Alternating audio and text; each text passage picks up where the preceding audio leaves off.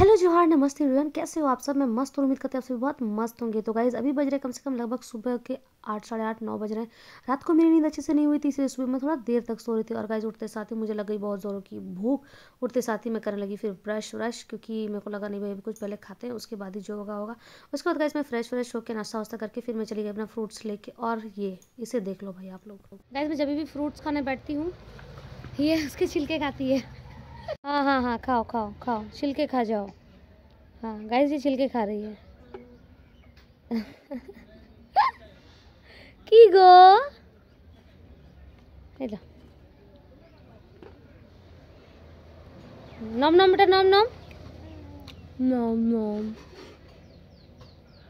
So guys breakfast वगैरह करने के बाद मैं हो गई थी एकदम नहा धोवा के फ्रेश और आज मैंने अपने बाल भी धोए काफ़ी दिनों बाद। और गाइस आज मेरे को कुछ स्पेशल खाने का बड़ा मन था और वैसे भी घर पे आज फ़िश बन रहा था तो मैंने सोचा क्यों ना कुछ अच्छा खाया जाए, कुछ एक्सपेरिमेंट किया जाए और इसे देख सकते हैं आप लोग। ये ये भाई तो ये अपना ही अलग ही काम में बिज़ी रहती है। अच्छा खैर, वो सब छोड़ते हैं। और गाइज़ आज मैं खा रही हूँ बहुत ही स्पेशल चीज़।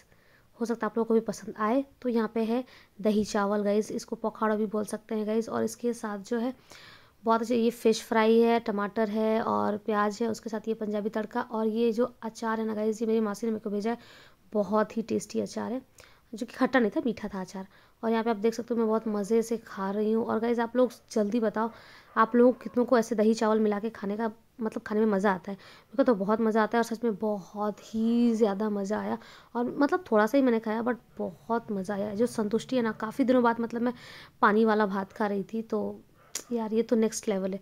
जब से मैं प्रेग्नेंट हुई हूँ, तब से मैं सूखा वाला चावल खा खा के मैं पागल हो गई थी।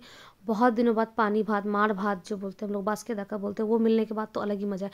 और गैस ये हो गया था शाम और मैं खा रही थी गुड़ पीठा।